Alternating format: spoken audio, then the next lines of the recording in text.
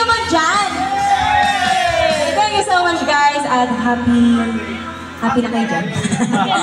Ayan, tawagan natin si Reyna. Ayan, Reyna Diva. Sige, buyat muna. Ha?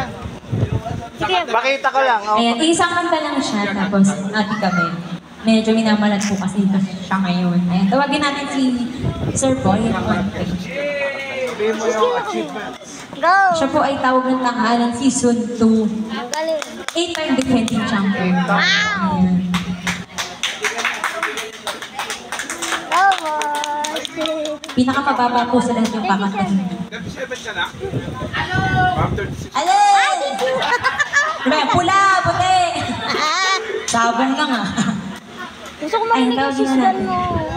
Gusto ko marinig yung sisdan. Ah, diba. Kanina ko pa nila inaabangan eh.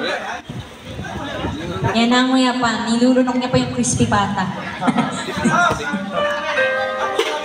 Ito naman. Ayan.